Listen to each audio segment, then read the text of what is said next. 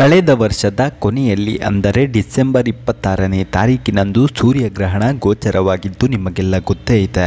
ಇನ್ನು ಈ ಸೂರ್ಯಗ್ರಹಣದ ಪರಿಣಾಮ ರಾಶಿ ಮಂಡಲದಲ್ಲಿ ಭಾರೀ ಪ್ರಮಾಣದ ಬದಲಾವಣೆ ಕೂಡ. ಆಗಿ ಕೆಲವು ರಾಶಿಯವರ ಜಾತಕದಲ್ಲಿ ಇರುವ ಎಲ್ಲ ದೋಷಗಳು ನಿವಾರಣೆಯಾಗಿದ್ದು, ಇನ್ನು ಹೊಸ ವರ್ಷದ ಆರಂಭದಲ್ಲಿ ಇನ್ನೊಂದು ಗ್ರಹಣ ಗೋಚರವಾಗಲಿದ್ದು, ಇದು ಜನರ ಜೀವನದ ಮೇಲೆ ಭಾರೀ ಪ್ರಮಾಣದ ಬದಲಾವಣೆಯನ್ನುಂಟು ಮಾಡಲಿದೆ. ನಾಳೆ, ಅಂದರೆ ಜನವರಿ ಹತ್ತನೇ ತಾರೀಕಿನಂದು ಚಂದ್ರಗ್ರಹಣ ಸಂಭವಿಸಲಿದ್ದು, ಇದು ಜನರ ಜೀವನದ ಮೇಲೆ ಕೆಲವು ಪರಿಣಾಮಗಳನ್ನು ಬೀರಲಿದೆ ಎಂದು ಜ್ಯೋತಿಷ್ಯ ಶಾಸ್ತ್ರ ಹೇಳುತ್ತಿದೆ. ಹಾಗಾದರೆ ಚಂದ್ರಗ್ರಹಣದ ಪರಿಣಾಮ ಜನರ ಮೇಲೆ ಹೇಗೆ ಬೀಳಲಿದೆ ಮತ್ತು ಚಂದ್ರಗ್ರಹಣದ ದಿನ ಯಾವ ಯಾವ ಕೆಲಸಗಳನ್ನು ಮಾಡಬಾರದು ಅನ್ನುವುದರ ಬಗ್ಗೆ ಸಂಪೂರ್ಣ ಮಾಹಿತಿ ನೋಡೋಣ ಬನ್ನಿ. ಅದಕ್ಕೂ ಮುನ್ನ ನಿಮಗೆ ಜ್ಯೋತಿಷ್ಯ ಶಾಸ್ತ್ರದಲ್ಲಿ ನಂಬಿಕೆ ಇದ್ದರೆ ಈಗಲೇ ವಿಡಿಯೋ ಲೈಕ್ ಮಾಡಿ ಮತ್ತು ನೀವಿನ್ನೂ ನಮ್ಮ ಚಾನಲನ್ನು ಸಬ್ಸ್ಕ್ರೈಬ್ ಮಾಡಿಲ್ಲ ಅಂದರೆ ತಕ್ಷಣ ವಿಡಿಯೋ ಕೆಳಗಿರೋ ಸಬ್ಸ್ಕ್ರೈಬ್ ಬಟನ್ನ ಪ್ರೆಸ್ ಮಾಡಿ. ಹಾಗೂ ನಿಮ್ಮ ಜೀವನದಲ್ಲಿ ಯಾವುದೇ ಕಠಿಣ ಸಮಸ್ಯೆಗಳಿದ್ದರೂ ಕೂಡ ಕೆಳಗೆ ಕಾಣುತ್ತಿರುವ ಸ್ವಾಮೀಜಿಯವರ ನಂಬರ್ಗೆ ಕರೆ ಮಾಡಿ ಶಾಶ್ವತ ಪರಿಹಾರ ಮಾಡಿಕೊಡಲಾಗುತ್ತದೆ. ಈ ಚಂದ್ರಗ್ರಹಣವು ವರ್ಷದ ಮೊದಲ ಗ್ರಹಣವಾಗಿದ್ದು ಜನರು ಈ ತಪ್ಪುಗಳನ್ನು ಯಾವುದೇ ಕಾರಣಕ್ಕೂ ಮಾಡಬಾರದು. ನಾಳೆ ರಾತ್ರಿ ಹತ್ತು ಗಂಟೆ ಸುಮಾರಿಗೆ ಆರಂಭವಾಗುವ ಈ ಗ್ರಹಣವು ಬೆಳಗ್ಗಿನ ಜಾವ ಎರಡು ಗಂಟೆಯ ಸುಮಾರಿಗೆ ಮುಗಿಯಲಿದೆ.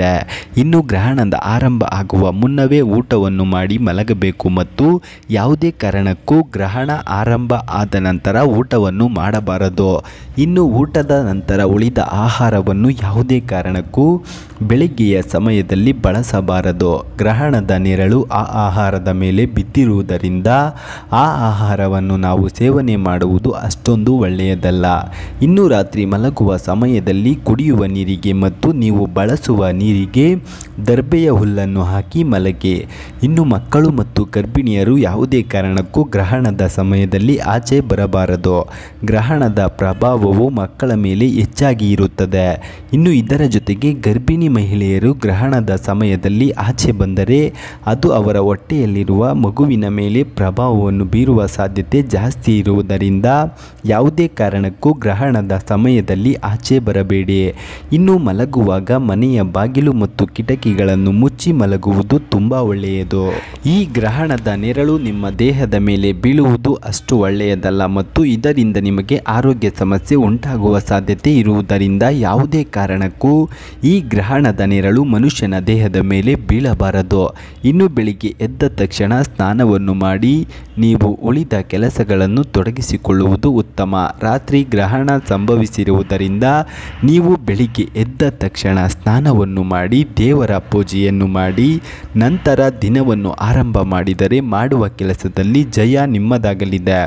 ಇನ್ನು ಬೆಳಿಗ್ಗೆ ಎದ್ದು ಸ್ನಾನ ಮಾಡಿದ ನಂತರ ಹತ್ತಿರದ ದೇವಸ್ಥಾನಕ್ಕೆ ಭೇಟಿ ನೀಡಿ, ದೇವರ ದರ್ಶನವನ್ನು ಪಡೆಯಬೇಕು. ನಿಮ್ಮ ಇಷ್ಟ ದೇವರನ್ನು ನೆನೆದು ಕಮೆಂಟ್ ಮಾಡಿ, ಇನ್ನೂ ಹೆಚ್ಚಿನ ಮಾಹಿತಿಗಾಗಿ ತಪ್ಪದೆ ನಮ್ಮ ಚಾನಲನ್ನು ಸಬ್ಸ್ಕ್ರೈಬ್ ಮಾಡಿ.